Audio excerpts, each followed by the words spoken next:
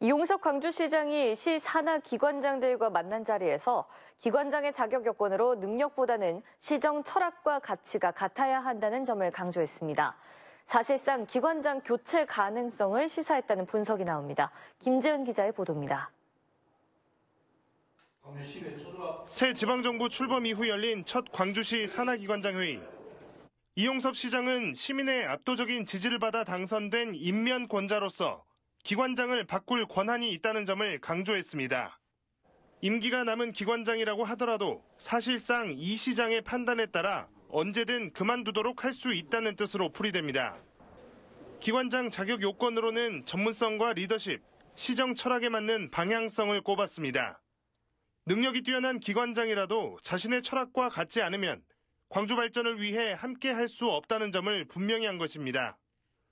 이 시장은 취임 직후 임기가 내년 이후까지 이어지는 기관장들에 대해서는 정부 평가와 정기 감사 결과 자체 평가를 통해 임기 보장 여부를 판단하겠다고 밝힌 바 있습니다.